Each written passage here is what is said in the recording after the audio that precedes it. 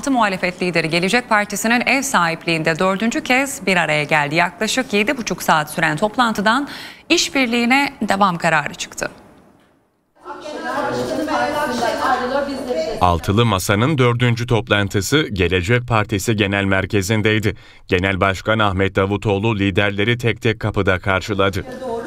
Uğurluyor ve biz yine dönelim. Saatler 19'u gösterdiğinde altılı masa toplantısı başladı. Gece saat 2'de sona erdi. Toplantıdan sonra yazılı açıklama yapıldı. Açıklamada seçim sonuçları açıklanana kadar işbirliğine devam vurgusu vardı. 10 maddelik ilkeler ve hedefler bildirgesi yayımlandı.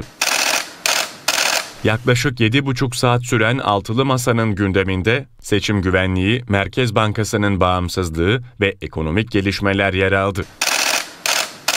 Açıklamada fiyat istikrarının sağlanması için kur korumalı mevduat sistemi uygulamasına son verilmesi çağrısı yapıldı. Yasa dışı sığınmacı konusu liderlerin görüştüğü bir diğer başlık oldu. Konuyla ilgili komisyon kurulacağı açıklandı. Altı muhalif liderin görüştüğü diğer başlıklar, NATO'nun genişlemesi konusunda Türkiye'nin tutumu, parlamenter sistem, düşünce, ifade ve basın özgürlüğü, bağımsız yargı, sosyal devlet ve gelir adaleti olarak duyuruldu. İzleyenler yurt genelinde hafta sonunda hava çok sıcaktı. Zaten meteoroloji geçtiğimiz hafta uyarmıştı hafta sonu sıcaklıklar artacak diye.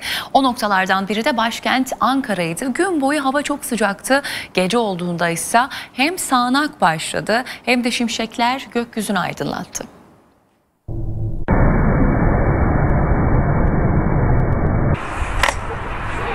Ankara haftanın son gününe güneşle uyandı. Sıcak hava tüm gün etkisini gösterdi. Hava karardığında ise güneş yerini aya, sıcaksa rüzgara bıraktı.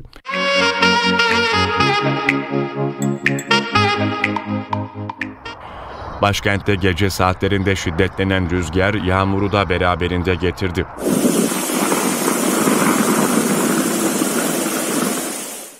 Önce karanlık gökyüzünü peş peşe çakan şimşekler aydınlattı.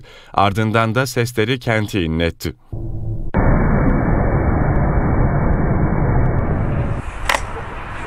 Gök gürültülü sağanakla birlikte çakan şimşekler görsel şölen oluşturdu. Peş peşe beliren şimşekleri cep telefonu kamerasıyla kaydetti.